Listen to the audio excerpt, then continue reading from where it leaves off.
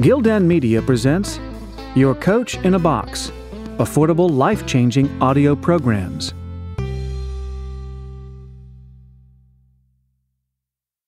The Bliss List Discover what truly makes you happy, then land your dream job. Written and read by J.P. Hansen, number one best selling and award winning author. This audiobook is dedicated to the loving memory of my mother, Mary C. Hansen. Introduction The Secret of Success. The Bliss List begins with a classic Mark Twain quote The secret of success is to make your vocation your vacation. Did you pick up this audiobook because you're unhappy in your current job? Do you want more from your work and from life? Well, you're not alone. We all want bliss in our lives. America is in the midst of a crisis, a workplace crisis. According to recent statistics, and backed up by my own experience of almost 20 years as a successful executive recruiter, four out of five people are unhappy in their current jobs. That's 80%. Why is this? Well, part of the answer is what we can learn from that fifth person who is quote unquote happy in his or her current job. If you are part of the 80% who are unhappy, this audiobook will definitely help you. If you are part of the 20% who are happy, this audiobook will help you in unexpected ways either by enhancing your current job or leading you to a new one. The Bliss List will help you discover your bliss, then get you into your bliss zone, then harness it, and finally, make your bliss actionable for your vocation and life. Well, what could cause an unhappiness rate of 80%? For the past 25 years, corporate America has been through a significant number of downsizings, mergers, and acquisitions, another phrase for downsizing, and bankruptcies. Every time a consultant is hired by a company, the advice inevitably results in layoffs. I've worked for four companies prior to starting my own company. Every single company for whom I worked either sold outright or divested the entire division that I was in. I know I'm not alone. For the past 20 years, I've owned an executive search business, and it often seems as if it is an outplacement center. Given all the people I speak with just after being downsized, a nicer way to say you're fired. It is hard to find attitudinal bliss in the workforce when you are living under a constant threat of being canned.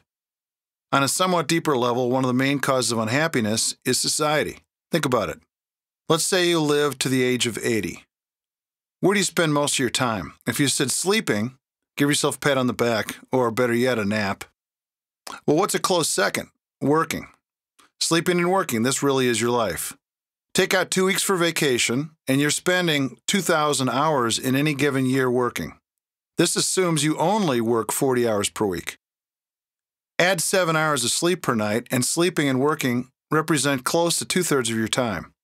Not much time is left for anything else. The Bliss list will primarily focus on the number one occupier of your waking time your job. But the lessons you will learn will carry over into all facets of your life. What does unhappiness in your job have to do with society? You spent the first 18 or so years of your life with little or no work stress. Your parents took care of you, providing clothing, food, and shelter, and paying the tab for almost everything else. You slept even more than seven hours per day during childhood and could sleep all day during the teenage years, and on some days you did. You may have worked part time jobs, but work stress was secondary.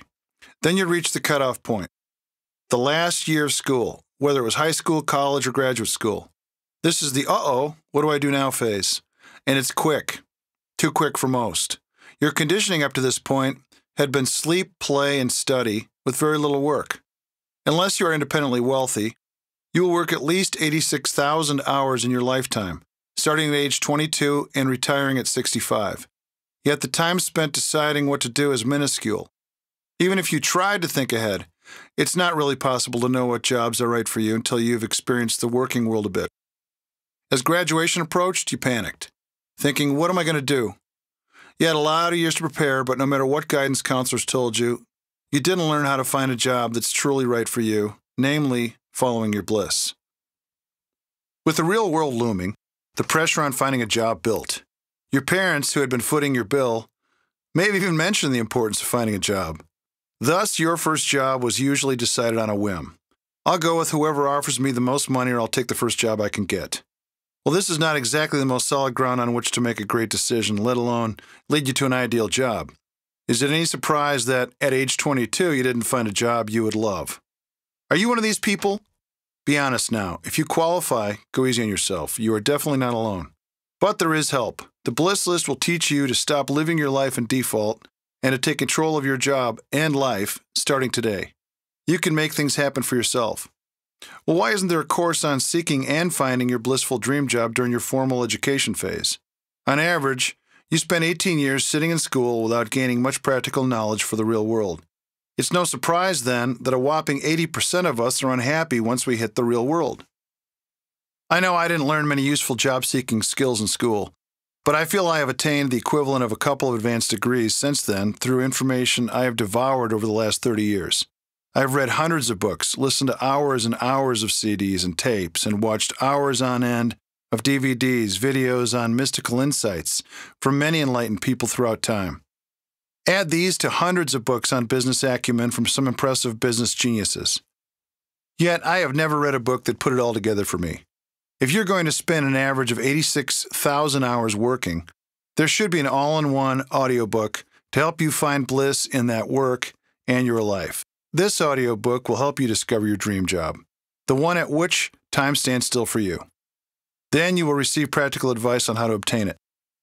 Defining bliss. Dr. Martin Luther King Jr. said, Take the first step in faith. You don't have to see the whole staircase, just take the first step. Listening to this is the first important step toward reaching what so many of you are missing in life bliss. Simply defined, bliss is happiness and meaning. My goal is to share insights with you. Some may seem controversial, some may rock your world. But after hearing this audiobook, you will grow personally and professionally, I guarantee it. Congratulations on taking the first step. My promise is that after hearing this audiobook, you will find bliss and land that elusive dream job. It may even be more than one vocation. I have worked for over 31 years in a variety of jobs. As an executive recruiter, I help thousands of people find their bliss through their work for over 20 years. And with this audiobook, I hope to help millions do the same. You are always growing and obtaining new peaks and experiencing some valleys. This audiobook will help you reach new peaks that may have seemed unreachable before, and then to reach new ones. There will be no room for valleys from here on. We are spiritual beings living in a physical presence. The Bliss List will combine the practical with the mystical. The advice you gain from this audiobook, obtaining true joy from your work, will also help you transform your life in every area. I have been blessed with good fortune throughout my career and life. My dreams have been realized many times. I graduated from Boston College, my first choice, and then obtained several dream jobs with blue chip companies like Nestle, Bristol Myers Squibb, SC Johnson Wax, and ConAgra. I worked with some very talented people and was lucky to have several mentors who taught me the ropes and who continue to help me. I became a self made millionaire by age 37. After being the youngest vice president at age 31, with a Fortune 35 company, I am now the president of a highly successful executive search company and have helped thousands of job seekers find true bliss. I owned a gorgeous dream house outright. That's right, with no mortgage. I owned a prime villa on beautiful Hilton Head Island outright. I owned a BMW outright. The feeling of financial freedom was incredible, but it has not always been easy street for me. I have had my down years, my own valleys, but when I did, I bounced back. My experiences, good and bad, are real and captured in this recording. So my audiobook offers real-life, practical insight that will help you. Applying Dr. Martin Luther King Jr.'s belief that things happen in steps, the same was true for me in landing my ultimate dream job, owning my own business. Before I could obtain it, though, I knew I needed more training and credibility. I've interviewed for several jobs and been the interviewer, plus, I serve as a career coach in my role as an executive recruiter. Along the way, I was able to obtain seven different dream jobs and some not exactlys, which ultimately gave me the experience and courage I needed to start my own company. If you view your own bliss as a series of steps, you will constantly be in a dream job state, regardless of your occupation. You will always be living in ultimate bliss. Though my career may seem like a cakewalk, don't think it was easy. Every single company and or division for which I worked was sold within the first year of my employment. Many people with whom I worked were pulled under it by a wave of negativity. Nevertheless, I never allowed myself to sway from my belief that I would one day have my own business and live in financial prosperity. Tell me about yourself. There's a great quote from Joseph Campbell Follow your bliss, and doors will open where there were no doors before. One of the many things I enjoy about being an executive recruiter is that I get to wear several hats in my job. One of those hats is psychologist. People pour out their hearts and share their inner secrets with me all the time. I've developed the skill of quickly determining whether someone is appropriate for a given job search I'm conducting. I follow a simple but effective method. I start by giving a brief thumbnail sketch of my background in order to build credibility and gain the person's trust. This only takes a minute or two, but is very powerful. Trust is the key to a strong relationship. After I feel I've built enough trust, I ask for a brief synopsis of the person's background. Then I shut up, not a natural thing for me, and listen very intently. I learn a great deal after asking, Tell me about yourself. What the person answers reveals all that is important. How he or she feels about his or her background, a great barometer for future success or failure in some cases. His or her energy level. How well he or she verbalizes thoughts. His or her basic interview skills. If you can't eloquently tell me about yourself, how can you ever do well in an interview? Well, after hearing the person's answer and describing his or her background, I always say, Wow, you have a terrific background. Well, what do you want to do next? You would be amazed at how many people stumble at this basic question. If I had a dollar for every time a person replied, I'm not sure, well, what have you got? I would no longer need to work. Isn't this the essence of what is keeping a person from achieving bliss? If you don't know what you want to do, how can you have a blissful dream job? Sometimes the answer is, well, I know it isn't what I'm doing now. Well, this is actually an important step in obtaining bliss by using contrast. Sometimes you need to state what you don't want in order to decide what you do want. Using our previous examples of happiness and unhappiness, we can see that sometimes this contrast is needed to develop our true goals. I'll tell you the story of Gary. I bought a dream house not too long ago. Here, the word dream really works because it was in foreclosure and in need of some drastic repairs and major remodeling. Many people looked at the house and passed on it. They thought I was dreaming to think I could fix it up. As a result, my ultimate dream house was on the market for over a year. The house had so much potential, and I could visualize what it would look like with some creative improvements. Gary worked for the general contractor I hired for this remodeling job. He used to run his own remodeling business, but fell on hard times and a nasty client or two and decided he needed more security. So he went to work for someone else. Gary was competent. He had a can do attitude. No matter what I asked, and some of my requests and ideas were extreme, Gary would always say with a proud smile, I can do that.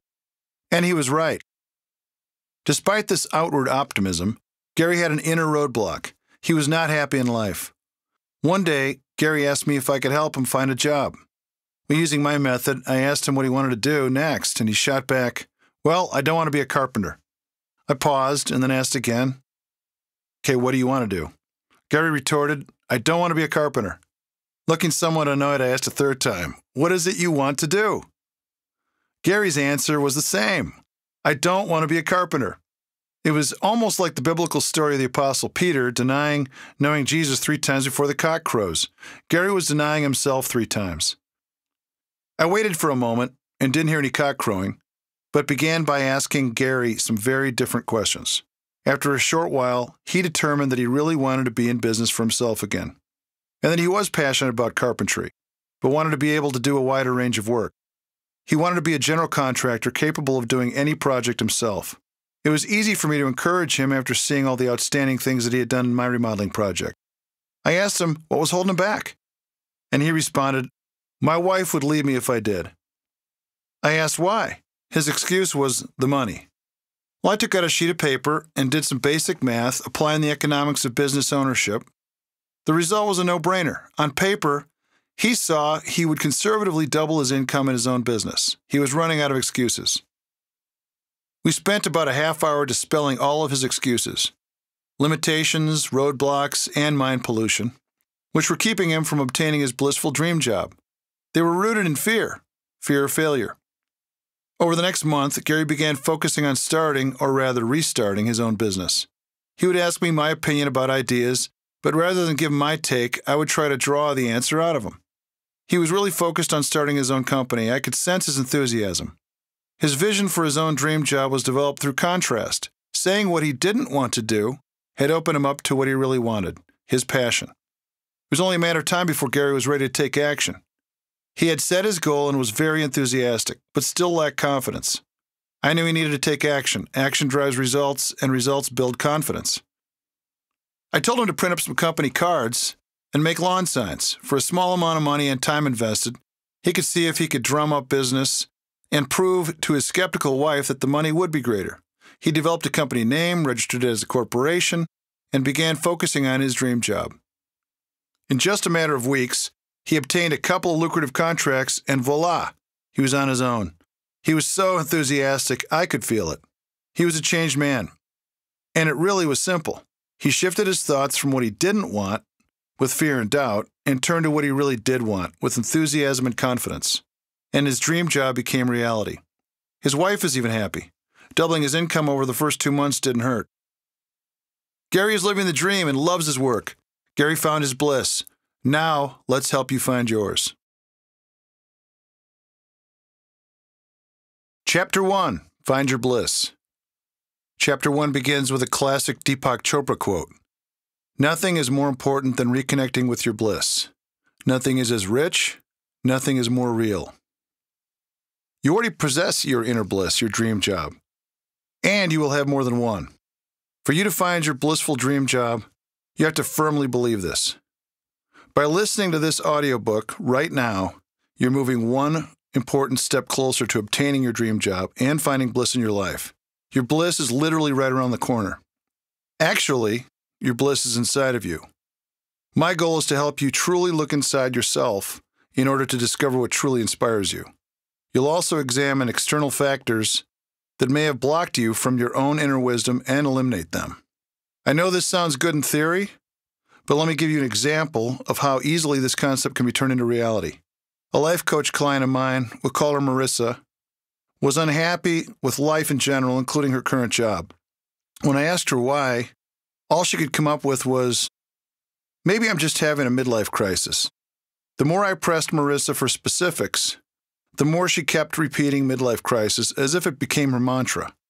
I said, Be careful what you say. I'm afraid it's become your affirmation. There's no such thing as a midlife crisis. But the more you keep saying it, the more you believe it. On the surface, Marissa was a bright, successful accountant with a CPA, earning decent money. She was in good shape, a bit on the thin side, and looked younger than her actual age of 53. Both of her parents had passed away within the last two years, and Marissa had inherited enough money so she wouldn't have to work. During the past year, she had gone through a bitter divorce that I knew had shattered her self esteem. She wasn't sleeping and was relying on antidepressants to get through each day. What she really needed was a double dose of bliss. Much of Marissa's present polluted with her past, her upbringing. Her fears began early. Marissa was raised to believe that bliss wasn't possible until she died, that hell is on earth, Blah, blah, blah. I've heard that one plenty of times. What a tragic way to live. I tried to fight fire with fire, quoting scripture. The kingdom of heaven is within, I said. When I asked her what that meant, she couldn't tell me. Marissa needed to reconnect with her own inner bliss. My verbal efforts have been fruitless, so I asked Marissa to write down what she was grateful for, and I left the room. This forced her to do some soul searching, just thinking about what makes you grateful raises your spirits, and I hoped it would help break Marissa out of her invisible fence. After about 15 minutes, Marissa called me back in the room. She had filled up half the page. She said she had struggled at first, but once she wrote the first one, that she was grateful for her patience, it became easier. From there, plenty of other thoughts flooded onto her paper. Interestingly, none of them were work related. After my patience, she listed possessions her car, house, vacation home, etc. Then she wrote about her relationships her dogs, two friends, and a cousin. Finally, she listed interests like music. She was a gifted pianist with a terrific voice. Photography and writing, she was trying to write a novel, actually. When she read her notes, her mood brightened like a radiant sunrise. I said, Congratulations! You've taken the most important step to finding bliss in your life without having to die first. Marissa furrowed her eyebrows, then said, That's not bliss, that's just what I'm grateful for. I retorted, Well, what's the difference? She paused for a moment, then said, None, I guess. Well, I asked during a given day, how much time are you actually spending with the people on that list or doing the activities you just read? Marissa inhaled deeply, then said, Not nearly enough. I knew my point resonated inside her. I said, Well, you know how to break out of your own depression. Devote time to the things and people you just listed. You're not having a midlife crisis, you're having a bliss crisis. Now that you know what makes you grateful, practice, practice, practice. Be your bliss, and bliss will follow every time. It took only 15 minutes for Marissa to begin turning her quote unquote midlife crisis into joy. Like Marissa, the first step toward attracting your bliss is to devote some time pondering your own bliss. Some may say that sounds selfish. I say it's actually more selfish to wander around loaded up on antidepressants, complaining about life. First, determine the people and things that make time stand still for you. The next step is to stay in your zone, your bliss zone. Are you ready for your own bliss list? Your bliss list. It's time to do some honest soul searching, so let's take an assessment. You will assess your skills, your desires, and your goals. This is a vital step toward obtaining your bliss, whether at work or in life. Think of the bliss list as your working diary, your personal guide to living the dream at work and life. Keep notes with this audiobook for easy reference. If you're driving, take mental notes. For this important exercise, simply write down what makes you feel the happiest. It doesn't have to be work related. What makes time stand still for you? This is your bliss list. Is it living like a millionaire? Being your own boss? The security of a stable company? Skimming over a lake in a sailboat? Skiing down a mountain? Hiking in the wilderness? Reading a spellbinding book? You decide. This list should come naturally to you and not take more than a few minutes for you to write. You will feel your mood actually improve as you think about and write this list. Whatever you write, the only rule is that you tell yourself what makes you happy. Not what makes your spouse, family, boss, friends, clergy, or whoever happy. Don't place any limits on yourself. I'll give you an example of another person's list after you're done, but I don't want to sway you with it yet. This list needs to be your bliss list. Write at least 15 words and phrases now. All finished? Good. As promised, here's an example. Jack Canfield, world renowned author of the best selling Chicken Soup for the Soul series, compiled his passion points in The Passion Test by Janet Attwood and Chris Attwood. This was his bliss list 1. Being of service to massive numbers of people. 2. Having an international impact. 3. Enjoying celebrity status. 4. Being part of a dynamic team. 5. Having a leadership role. 6 helping people live their vision. 7. Speaking to large groups. 8. Having an impact through television. 9. Being a multimillionaire. 10. Having world class headquarters and support team. 11. Having lots of free time. 12. Studying with spiritual masters regularly. 13. Being part of a spiritual leaders network. 14. Creating a core group of ongoing trainers who feel identified with my organization.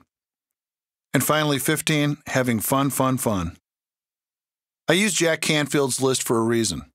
Jack is an enormously successful man who has had a positive influence on people around the world, and his list reflects that.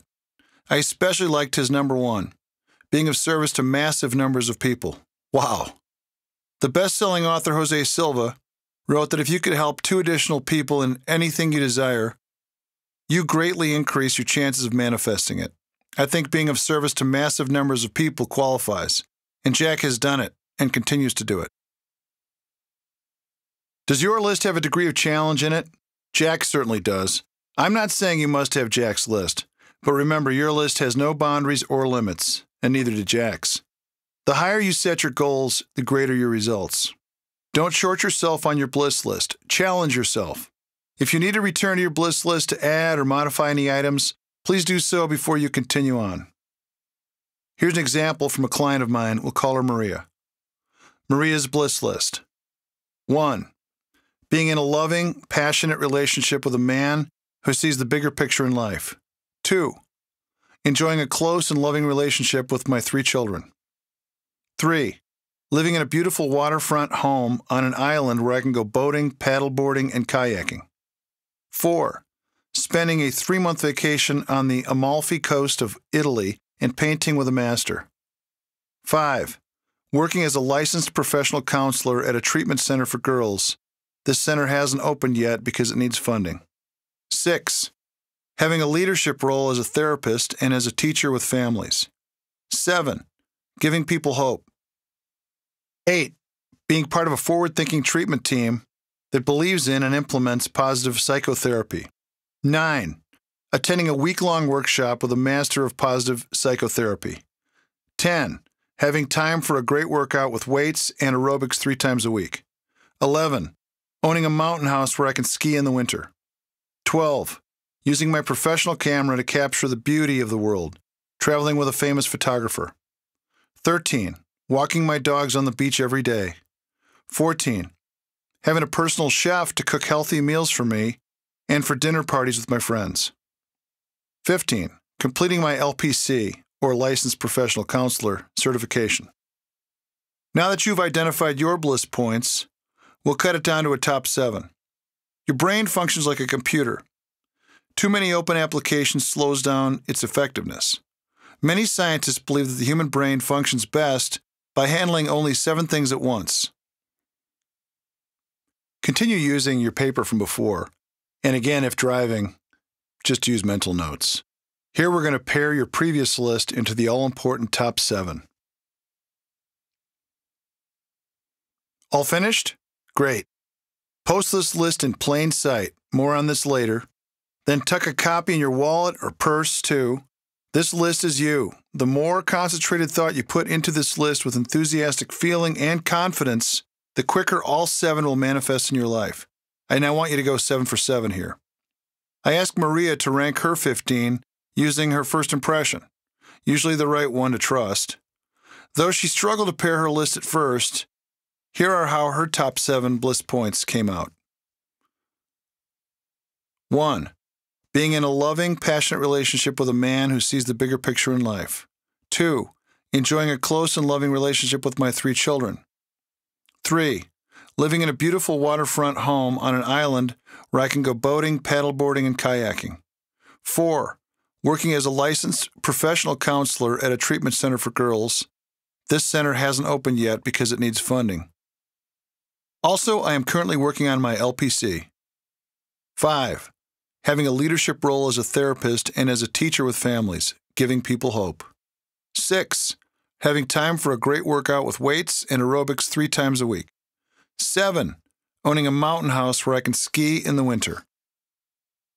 Next, we're going to apply your top seven into a first draft of your ideal job. You may have more than one ideal job, the more the better. No limits, remember?